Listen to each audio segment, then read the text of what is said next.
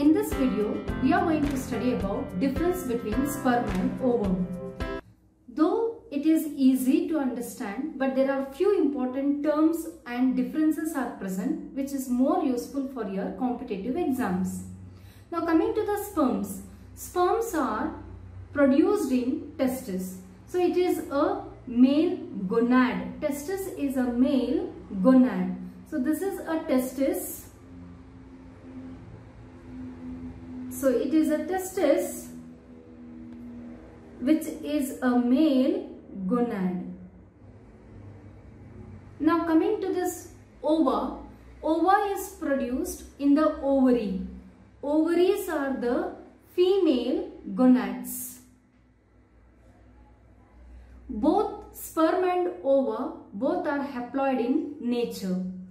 And sperms are produced at the time of puberty. Puberty age for boys is around 12 years. Whereas coming to the female, oogenesis will starts before birth and it stops during 45 to 50 years. So 45 to 50 years we can call that as menopause stage where the production of ovum stops. Next we can find that a difference here that is the sperm production continues throughout from puberty throughout the life it is going to take place in case of male whereas the ovum production as I told you it stops at the age of 45 to 50 years. Next thing we can tell that the sperm has during coitus a single ejaculation will release 3 ml of semen. In that 3 ml of semen there will be 200 to 400 million sperms will be present. Whereas in case of females, only one ova will be released for 28 days. And we can find that 460 ovas can be released over 2 million. As we know very well that in the ovary there are 2 million follicles will be present. Out of 2 million follicles, if we think the puberty age of female, it starts from 11 years to 13 years. So imagine that if the female has matured in the year that is at the time of 13 years and her menopause stage is 45 years. So if we count like that around 32 that is 45 minus 13 we will get 32 years she has a capability to release ova. So we know very well that for every 28 days one ova is released. So per year 13 eggs will be released out. So 13 into 32 if we do so each female approximately she can release around 416 ova in her lifetime. Whereas male will be producing the sperms throughout his life. And now we can find another difference here that is mature spermatozoa are released from the testis. As we know that in the seminiferous tubules sperms are produced and mature sperms will be released further. Whereas in case of female we can find that the ova that is here from ovary secondary oocyte is released. Secondary oocyte is released. So it is not a mature ova so it is a secondary oocyte where it has to still undergo meiosis 2 next we can find that the difference here. The sperms are minute microscopic in nature and they are motile whereas ovum it is large rounded and non-motile. And the sperm when we see the external view the sperm is divided into head the parts the parts we can find here has head part this is a head part and then it consists of neck head neck, middle piece, principal piece. From here to here it is called as principal piece and this is called as end piece. So externally the sperm is divided into all these regions whereas ovum externally it is not divisible into many regions. Next we can find that in case of sperm they do not have any protective coats. Protective coats are absent. Outermost protecting coat is absent in case of sperm whereas in case of ovum we can see outermost there is zona pellucida is present interior and this is corona radiata. Outermost is corona radiata, corona radiata and inner to it is zona pellucida. So these two are the regions we can say coat which is going to protect the ovum. And here very very important point here the nucleus is very compact. Compact means completely condensed. And then it consists of DNA. And it lacks, in the sperm, there is no RNA.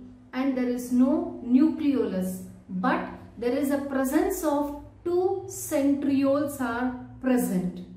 Whereas in case of ovum, we can see that there is a large nucleus is present and this large nucleus is called as germinal vesicle. The large nucleus is called as germinal vesicle. It is called as germinal vesicle and it consists of a large nucleolus is present which is called as germinal spot. It is called as germinal spot and it also consists of RNA but centrioles are absent. It is very very important to note that centrioles are absent in ovum whereas two centrioles are present in sperm.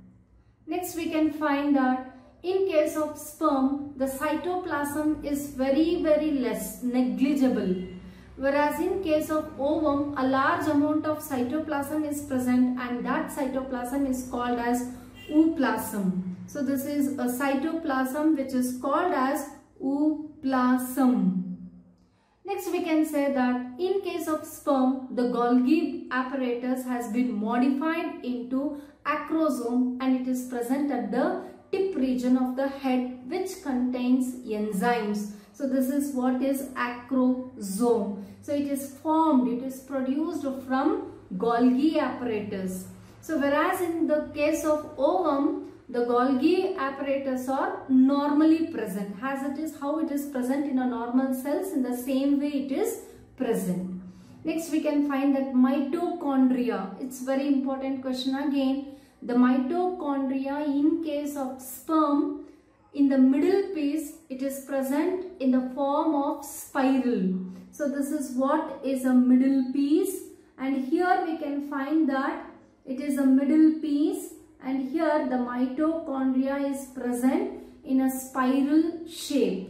The shape of the mitochondria is spiral in shape. Whereas in case of ovum, the mitochondria is scattered. All these are mitochondria. It has been scattered throughout the cytoplasm. Next we can find that in case of sperms, so after the formation of the sperms, they get nourishment from the Sertoli cells. So these are Sertoli cells.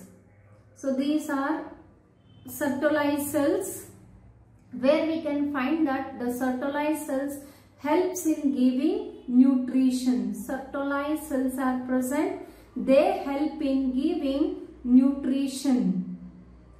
And when it comes to the ovum, the follicles, all these are the follicles. From the follicles, the developing ova will get nourishment. The sperm penetrates. During fertilization, the sperm will enter into the ovum by releasing enzymes present in the acrosome. And in case of ovum, ovum starts engulfing the sperm by the formation of reception cone. So now this is again important here. Now imagine this is a ovum. So the as soon as the sperm comes in contact with the ovum, so this sperm will release from the acrosome, it releases enzymes and the, this ovum, it forms a cone-like structure. So imagine now this is a ovum means it forms a cone-like structure. So this cone-like structure is called as reception cone. This is a place where the sperm will enter into the ovum. The sperm will enter into the ovum. So next we can find that. So here as the sperms enters into the male, uh, sorry, into the female reproductive tract that is in the oviduct, fallopian tube of the female, it remains 3 to 5 days. It has a capability to, to be alive for 3 to 5 days. So, but, but still this point you have to remember that though it is alive, but within one day it, it, it is having a capability, it can easily get fertilized to the ovum if ovum is present. Now coming to here, the ovum can survive in the oviduct for 24 hours. What I mean to tell here is, the fertilization takes place only when sperm and the ovum simultaneously comes into the fallopian tube and fuses for 6 hours after ovulation. Imagine after ovulation that is ova is released into the oviduct that is in the fallopian tube. The sperm if at all sperm is present and the sperms once it is released for 6 hours it will be more active so that fertilization can take place easily.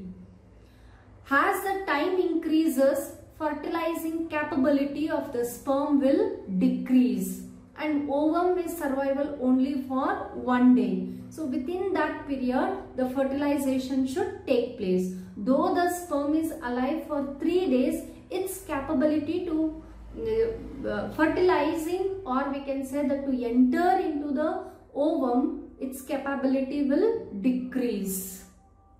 So next we can find that um, in a complete chart where you can find all the differences between the sperm as well as ovum. So here is together. I have given the chart together so that it will be easy for you people to write down and to understand. So in the next section, I am going to explain about menstrual cycle.